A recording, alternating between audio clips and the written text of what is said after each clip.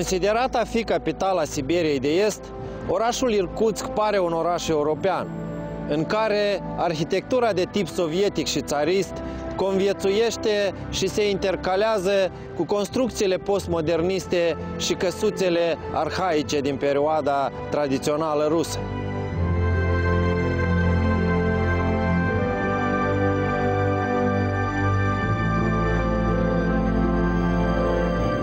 Apărut la începutul secolului XVII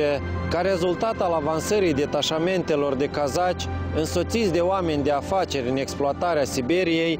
Irkutskul a devenit de la începuturi un loc al afaceriștilor și oportuniștilor, a aventurierilor și căutătorilor de bogății, a celor care doreau să se ascunde, dar și o destinație a exilaților, a deportaților în diferitele perioade ale Imperiului Rus și Sovietic. Prima exilare notorie s-a produs la începutul secolului XIX când în rezultatul unei revolte nereușite, cunoscute drept răscoala decembriștilor, mai mulți nobili ruși și familiile lor vor fi îndepărtate în regiunile din Irkutsk.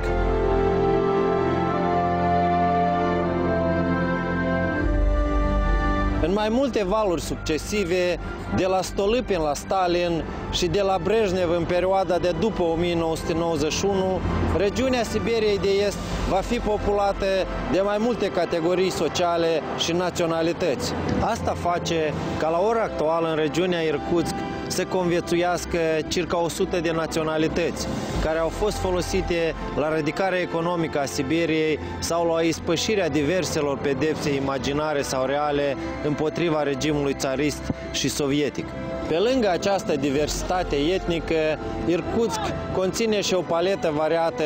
de confesiuni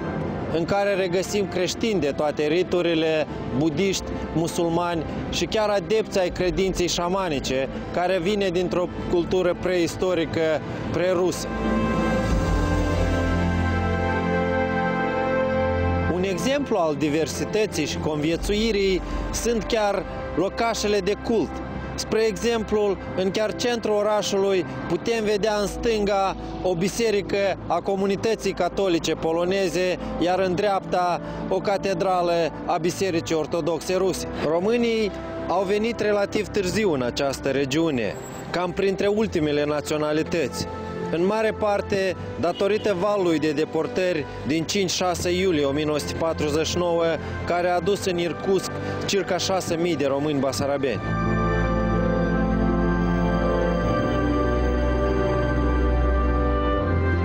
Până la români, în această regiune au venit în perioada interbelică polonezi, ucraineni, belorusi, iar după al doilea război mondial, mai mulți reprezentanți ai țărilor baltice, dintre care majoritatea erau lituanieni. Raioanele Ciunsk și Taișet, aflate la sute de kilometri de Irkutsk, au fost principalele locații ale deportărilor din anul 1949,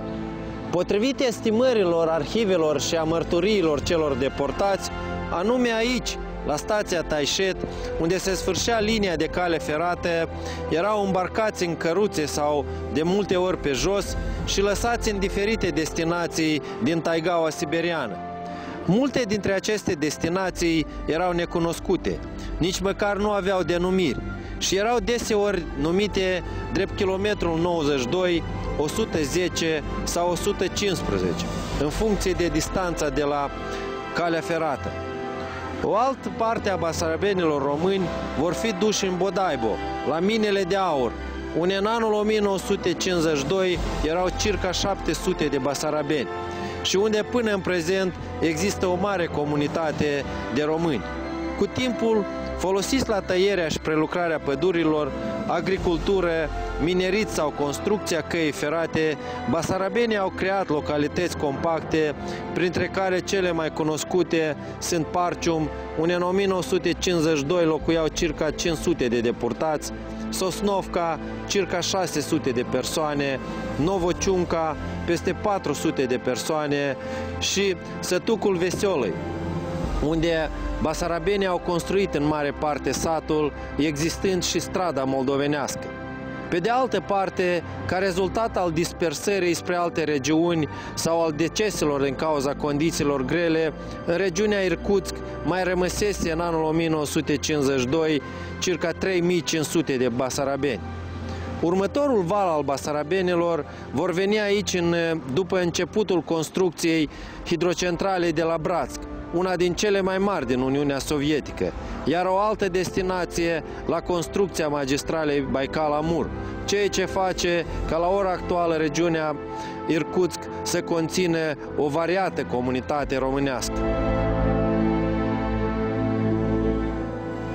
Aflat într-un loc pitoresc, la intersecția lacului Baikal și a râului Angara,